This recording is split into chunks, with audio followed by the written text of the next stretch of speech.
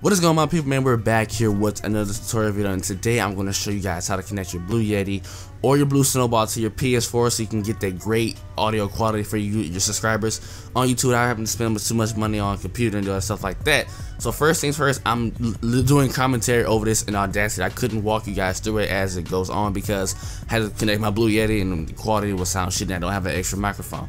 But anyways, what you want to do is plug in your Blue Yeti or Blue Snowball into your PS4. For the Blue Yeti part, and when you plug it in, you have to plug in your headphones through your audio jack on your Blue Yeti. You go to your settings, you change the input and output to uh, your uh, Blue Yeti. Now with the Blue Snowball, it's a little bit easier all you simply do is plug it in. You plug your headphones into your PS4 and then you uh, go to your settings and you put the input to Blue Snowball you put the output to your whatever headphones you're using. That works perfectly fine. Now if you're on the Xbox One I do not know because I have never tested out with that never did too much tested recordings on that. But if you guys like to do a tutorial on that let me know in the comment section down below. Now I recommend you guys do not play your audio through your TV if you guys are going to be using the snowball because it will create a very bad echo. And these two mics are very sensitive. I have owned both of them. I have did this method before on my blue snowball months ago when I had until I upgraded to Blue Yeti. My cousin used the Blue Yeti on his commentaries when he was on PS4 because he connected. Sounds perfectly fine. The audio is fine.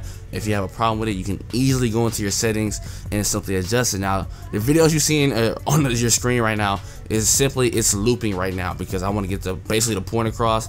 So let you guys know that hey, this method does work. You're gonna spend too much money on computers and stuff like that to get the best quality possible. So if you guys have any questions, let me know in the comment section down below. It's really easy, guys.